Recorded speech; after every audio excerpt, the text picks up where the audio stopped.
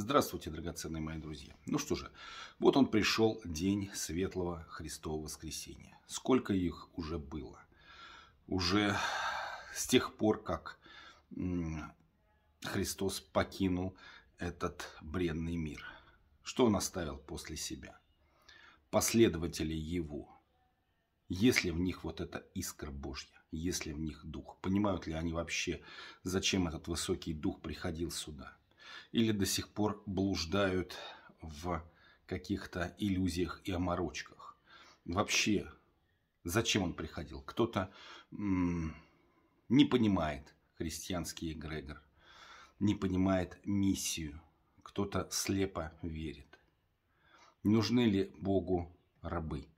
Нужны ли Ему наши молитвы и поклонения, восхваления, псалмы?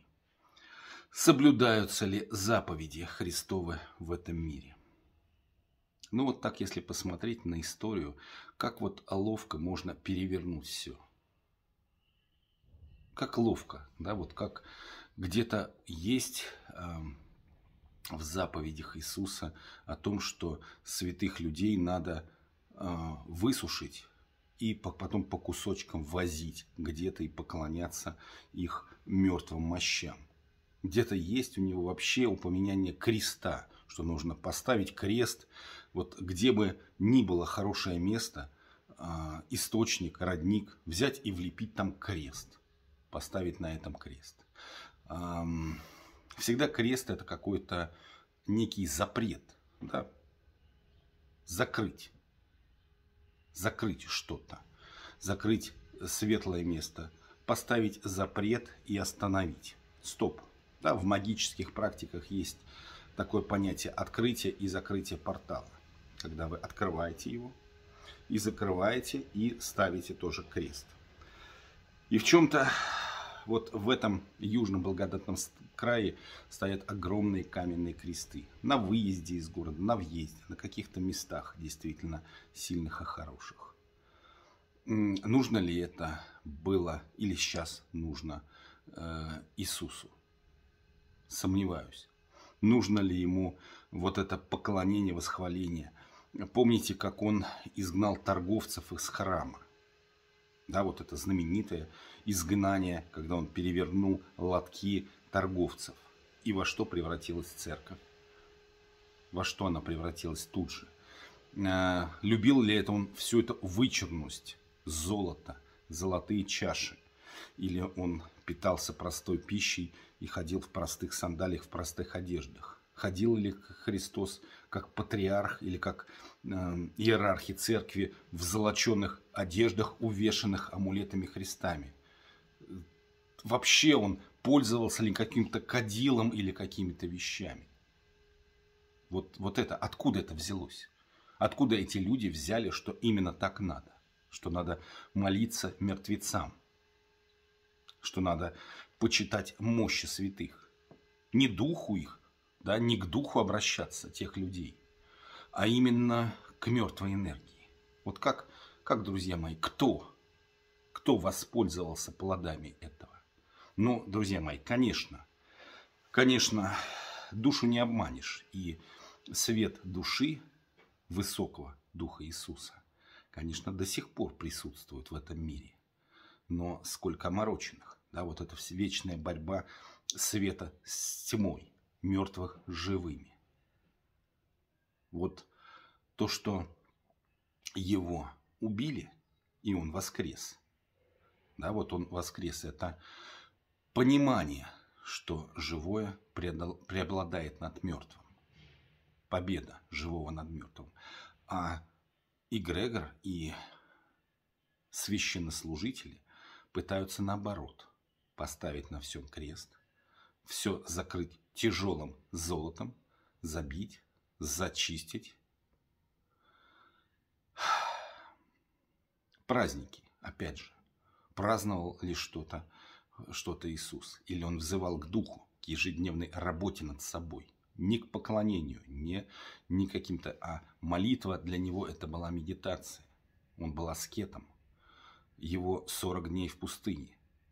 Он аскет, а не э, не какой-то празднователь с салютами и с, с песнопениями. Все не так. Да? Вот, все мы, мы смотрим на это и не видим. Нужны ли вообще праздники?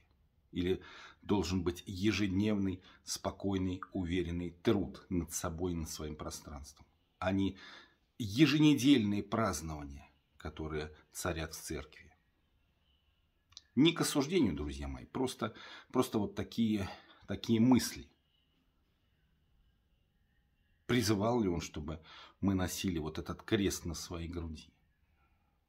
К магическим ритуалам крещения, там, обрезания каких-то вещей. Да, много, много странного. Но зерно истины увидит только душа, не разум, который предпочитает привычные ритуалы, предпочитает следовать путем тем, которые кто-то указал. Молитесь, будьте покорными, будьте рабами. Не смотрите, не занимайтесь, не развивайтесь. Вы этого не можете, не знаете. Покоритесь воле. Это не значит, да, можно следовать с потоком, можно говорить со Вселенной, говорить с Создателем. То, что он делал.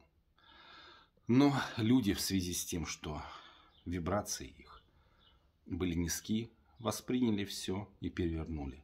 И плодами и жертвой – видите, воспользовались совершенно не те, да, те, кто хотел вот этой идеей поработить оставшихся, запутать. Может быть так? Или все это, друзья мои, все это странные, глупые мысли. Светлое Христово воскресенье. Действительно прекрасный день. Смотрит сейчас Иисус на это все? Что он испытывает? Печаль, надежду, понимание, что те две тысячи лет прошедшие, это только начало пути. Будет ли второе пришествие? Или еще рано? Да? Или если опять Спаситель спустится на эту землю, его опять же убьют. Каким образом, не знаю. Да, но опять же, вот те же самые, кто кричат ему «Асана», они найдут способ, что это не тот, не так, не потому, и убьют его. А потом, опять же, вознесут его на кресте, на колено, на чем угодно.